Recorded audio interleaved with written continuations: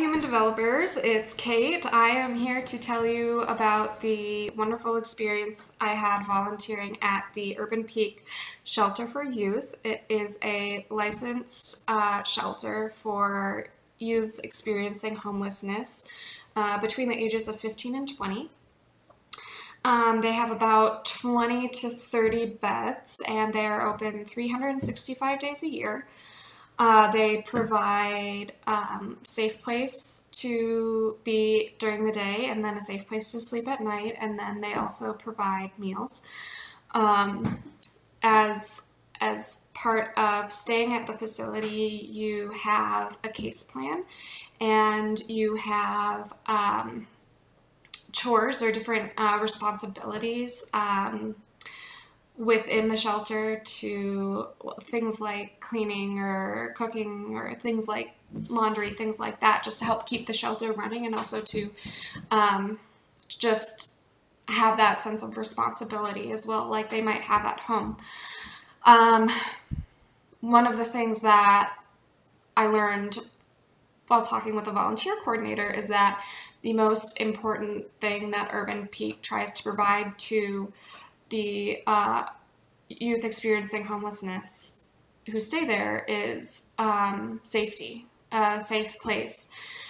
Because, um, according to the volunteer coordinator, if they are at the shelter, it's probably because home wasn't a very safe place. And so the biggest thing is um, getting these homeless youth into a longer term uh, setting where they are safe, where they can, you know, uh, finish school, go to school, um, find a job, you know, gain self-sufficiency and independence. Um, so based on your age, there there is a limit for how long you can stay there. If you're between the ages of 15 and 17, there is a 21 day limit where you, according to your case plan, are working toward um, either reunification with family or uh, another alternative, safe um, living situation. And then for use between the ages of 18 to 20, um, there is no set limit. Uh, I talked to a few people who had been there for a couple weeks. I talked to a few people who had been there for a few months. And the idea is that you are working towards self sufficiency, um, getting a job, finding a stable place to live, or uh, finishing school, applying to college, you know, things like that. Um, so it was a great opportunity for me. I really enjoyed it. I had not had much experience at all working with homeless youth or having any interaction with homeless youth. Um, that's not an experience that I had um, growing up, and uh, just not something I've I've had much interaction with uh, as an adult either. So it was really wonderful um, to get a sense of what these uh, young people are, are, are going through. Um, it was a, yeah, it was just, I'll, I'll tell you all about it, but it was great. Um, so what I was doing was serving breakfast, and so that gave me the opportunity to talk to a few different people. Um, everyone was so friendly and so uh, so uh, grateful and um, pretty quiet too. I don't know if that's because it was like early in the morning and they hadn't eaten yet. Um, some of them livened up a little bit after they got some food in them, and some of them just ate really quick and then went on to the next thing in their day. So, um, but you know, just the interactions that I had were were wonderful um, and really meaningful. So, uh, as I was doing the volunteering process, I I was trying to think about the different, you know, developmental theories and like what these youths are going through. And I thought about Erik Erikson and the stages of uh, psychosocial development. And these kids, um, youths, excuse me, are either, according to Erik Erikson's theory, um, adolescents or young adults. And if they're an adolescent between the ages of 15 to 18, they are working through the crisis of identity versus role confusion. So, who am I in the world? Um, where do I belong? How do I belong? uh, things like that. And then the young adults, 18 to 20, are working through um, intimacy versus isolation. So trying to form uh, long term, lasting, committed relationships with other people um, to avoid loneliness, essentially.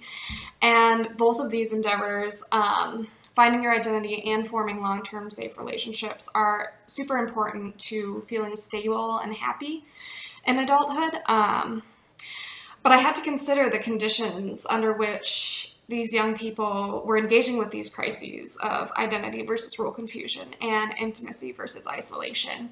And that brought me to Urie Bronfenbrenner's ecological model of human development, um, which, as we know, looks at not only the individual, but the various levels of systems that impact an individual's development. So their ecological environmental setting, basically. So in the very center of that model is the individual, so person, their identities, um, and everything that's going on within them according to Erik Erikson's theory.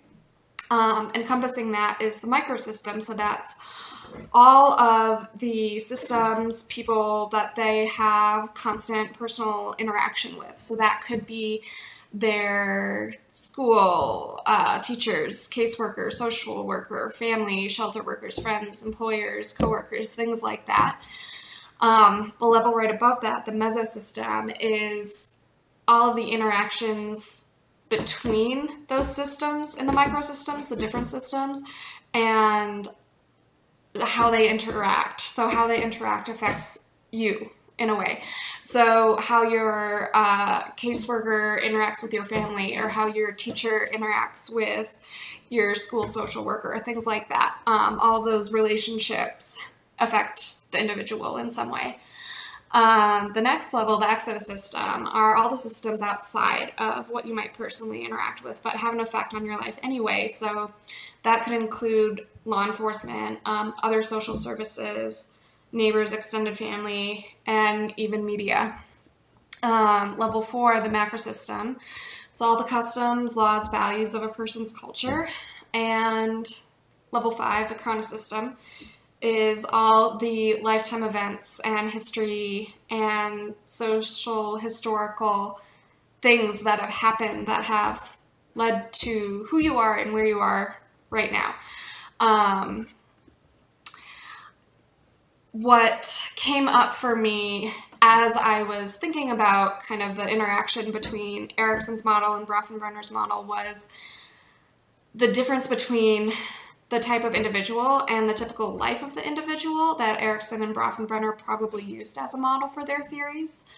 Um, and how that individual probably didn't look much like the individuals I had the opportunity to serve at the shelter, especially for Erikson's theory.